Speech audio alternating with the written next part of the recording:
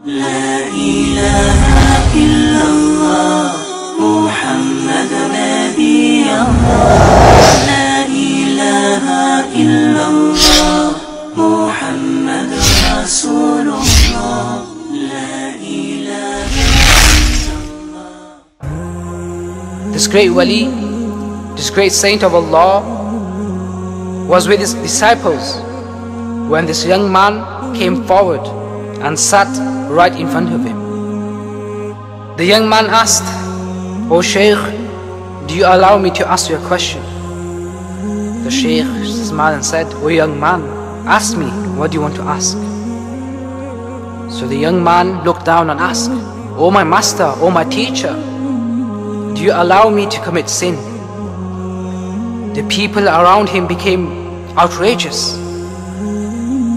The saint knew this person was spiritually ill and so he has come to a spiritual doctor.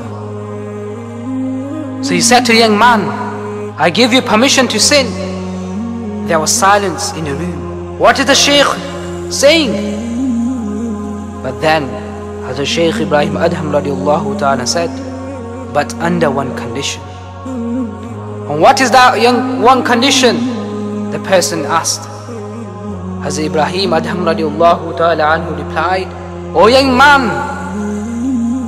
remember if you intend to disobey Allah, to commit sin, then get out from the kingdom of Allah subhanahu wa ta'ala. The young man looked down and said, This is not possible, O Shaykh. But then the Shaykh carried on and said, Do you feel ashamed that you are in his kingdom and yet you want to disobey him? Tears began rolling down the young man's eyes. The Shaykh carried on said, O young man, listen. If you intend to disobey Allah, then don't eat from his provisions.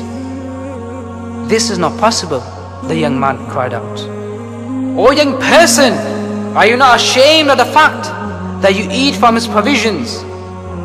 You eat from the food he has provided you with, and yet you want to disobey him? The young person shivered.